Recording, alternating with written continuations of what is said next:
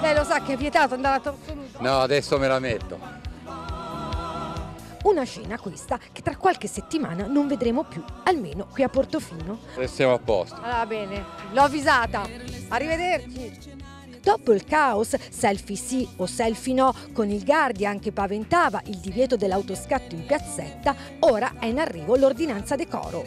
Un provvedimento che vieterà i bivacchi, sedersi per terra, ma anche e soprattutto di girare scalzi o in costume da bagno e appunto a torso nudo. Il decoro è, è civiltà, è, è importantissimo. Una decisione presa dal primo cittadino e che sta dividendo la famosa piazzetta di Portofino.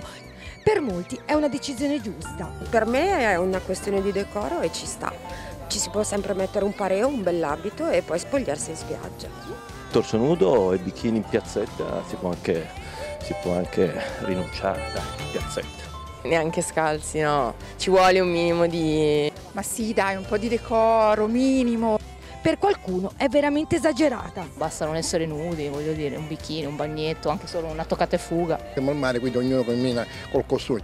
D'estate è una cosa folle, perché se fa caldo... Siamo al mare perché bisogna vietarlo. Non sono d'accordo. I favorevoli all'ordinanza hanno le idee chiare.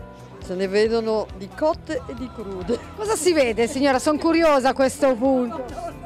Non vedo perché io devo vedermi le nudità degli altri in piazzetta. Di altro parere la fazione pro bikini e torso nudo. Anche un signore in costume fa piacere. Un'ordinanza che fa già discutere ma che è chiara a tutti.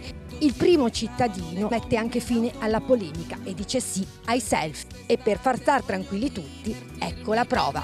Selfie col sindaco, eh? Selfie. Vado io così.